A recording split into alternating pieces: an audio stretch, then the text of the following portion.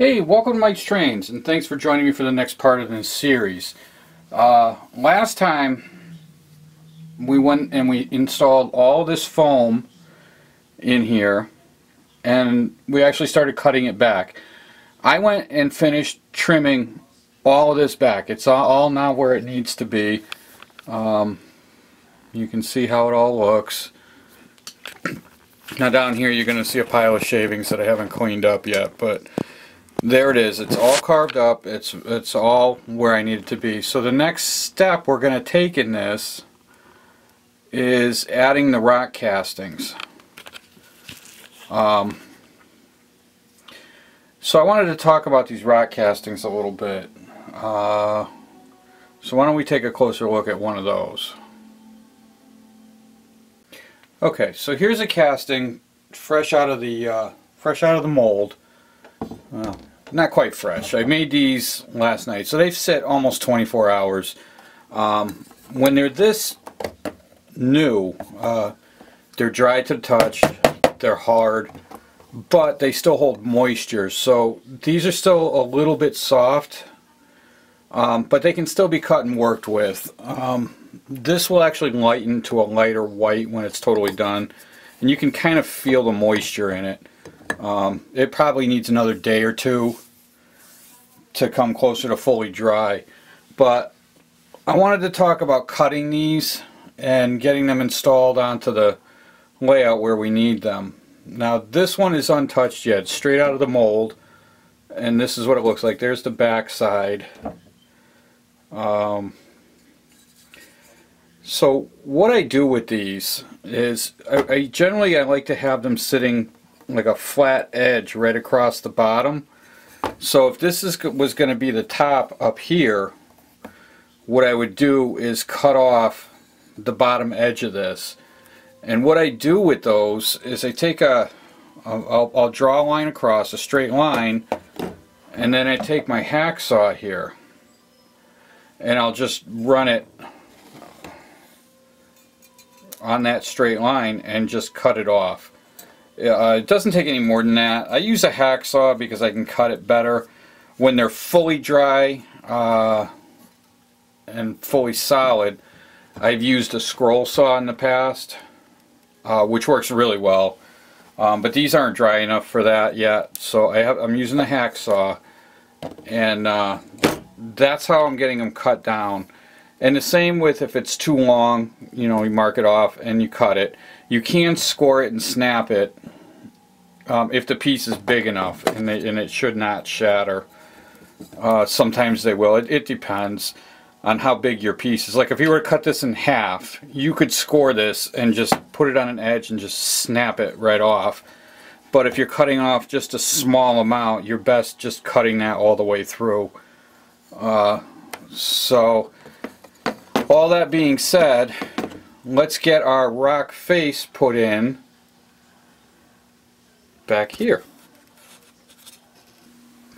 Okay, so let's start at this end.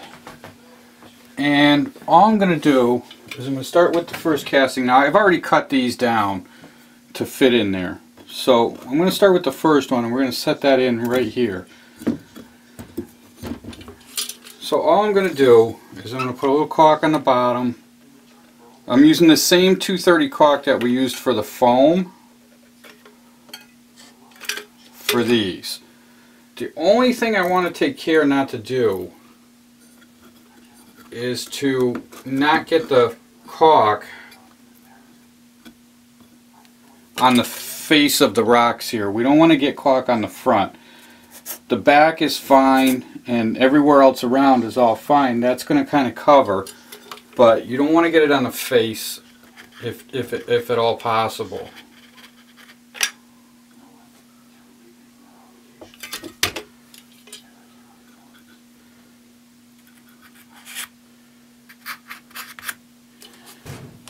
Okay, and then we'll just keep moving down until we have them all in place. As you can see, I've cut this end flat, okay? And the top is the going to go to the top edge. We left that one alone. And I'm just going to cover this.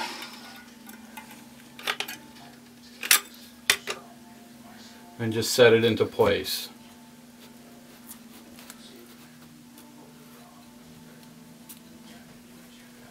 Just like that. And we keep going.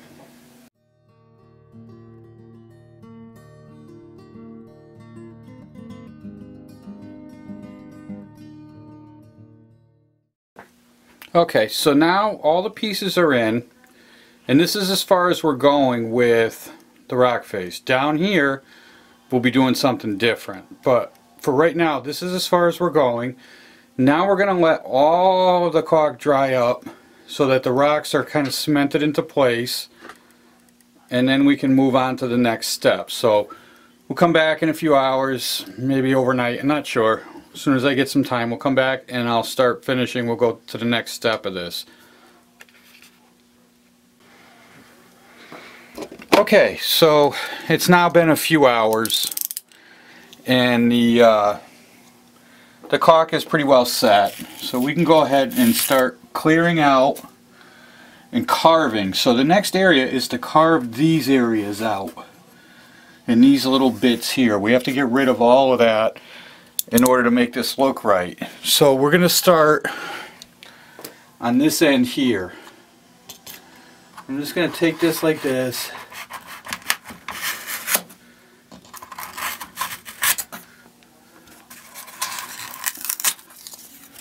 And I'm just going to lightly carve it back like that.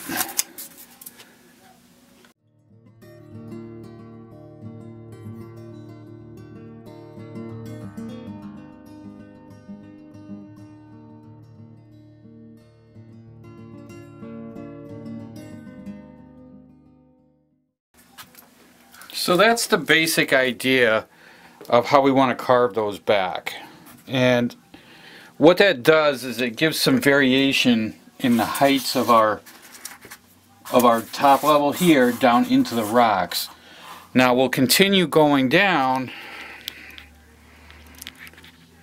wherever the high spots are. Here's another one here and we'll just continue all the way down.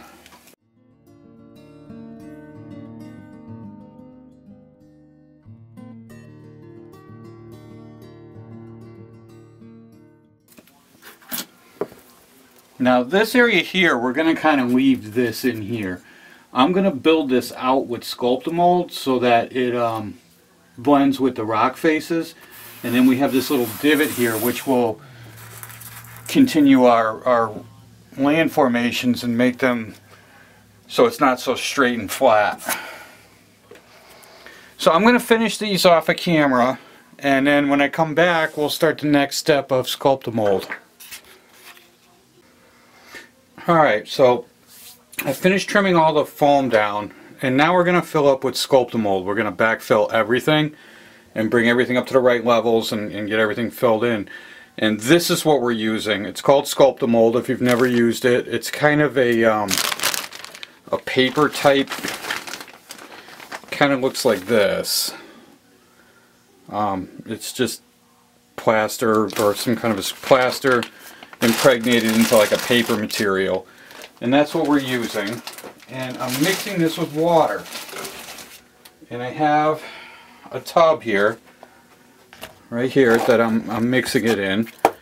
And I've mixed it up, and it's kind of like a like a paste. Um, nice and thick. And this is what we're going to use to fill up the rocks and get everything blended together. So let's get started on that. Alright, so here we go. It's very easy to use. You just kind of slap it in there and spread it around. I'm filling all the gaps that are from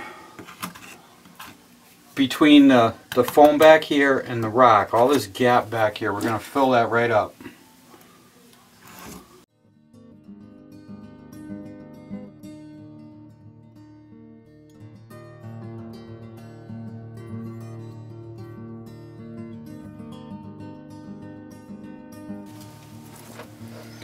And I'm also going to go down below here in the bottoms of all of this.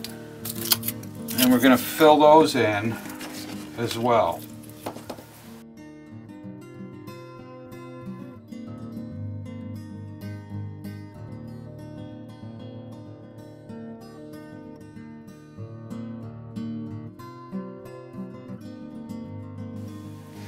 And the only thing I'm trying not to do is to cover up too much of this detail of the rock.